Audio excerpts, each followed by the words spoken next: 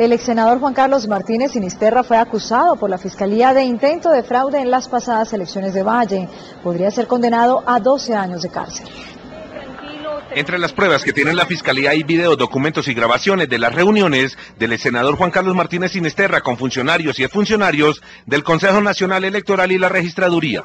Luis Enrique Forero recibe llamada de socio donde Luis le expresa que el que va a manejar la empresa contratista ASD es Ulpiano, que lo tienen con sueldo y que aceptó la propuesta, que más adelante le dirá la trampa y que le dio las claves al ingeniero amigo. Según la investigación, los detenidos exigieron una alta suma de dinero al ex senador Martínez para realizar el fraude. La propuesta fue planteada por 600 millones de pesos, pero el señor Martínez Sinisterra manifestó que no tenía dinero, haciendo una contrapropuesta de pedirles que colaboraran con la campaña. El ex senador Juan Carlos Martínez Sinisterra será procesado por cohecho y fraude electoral.